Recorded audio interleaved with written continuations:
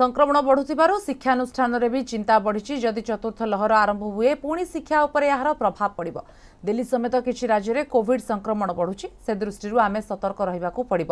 ସ୍କୁଲରେ ମାସ୍କ ଓ ସାନିଟାଇଜେସନ୍ ଉପରେ ଗୁରୁତ୍ୱ ଦିଆଯାଉଛି ସରକାର ଯଦି ଯାହା ନିର୍ଦ୍ଦେଶ ଦେବେ ତାକୁ ପାଳନ କରାଯିବ ବୋଲି ସ୍କୁଲ କର୍ତ୍ତୃପକ୍ଷ କହିଛନ୍ତି ଆଗେ କରୋନା ନଥିଲା ଏବେ ଜଷ୍ଟ ରିସେଣ୍ଟଲି ସ୍କୁଲ ଓପନ୍ ହେଇଛି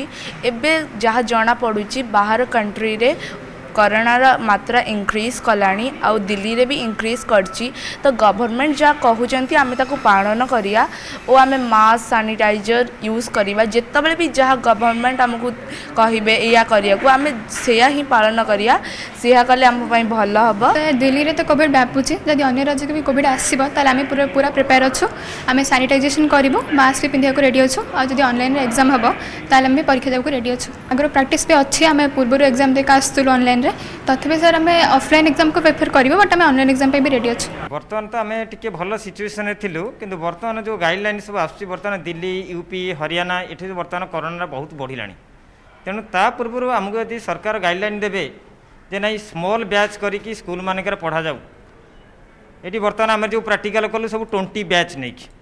ସେମିତି ଯଦି ସରକାର ଯଦି ଆମକୁ ଗାଇଡ଼ଲାଇନ୍ ଦେବେ ଯେ ନାଇଁ ସ୍ମଲ୍ ବ୍ୟାଚ୍ କରିକି ଆପଣ ପାଠ ପଢ଼ାନ୍ତୁ ହେଲେ ଆମେମାନେ ରେଡ଼ି ଅଛୁ masks sanitizer and social distancing ଯାହା ଗାଇଡ଼ଲାଇନ୍ ସରକାର ଦେବେ ଆମେ ତାକୁ ମାନିବୁ ସ୍ମଲ୍ ବ୍ୟାଚ୍ କରିକି ପିଲାଙ୍କୁ ପାଠ ପଢ଼ାଇବୁ ପିଲାଙ୍କର ଅଫଲାଇନ୍ କ୍ଲାସ୍ କରିବୁ ଯଦି ସେତିକି ସିଚୁଏସନ୍ ଆସିବ ଯେ ଯଦି ଗଭର୍ଣ୍ଣମେଣ୍ଟ ଡିକ୍ଲେୟାର କରିବେ ଯେ ନାଇଁ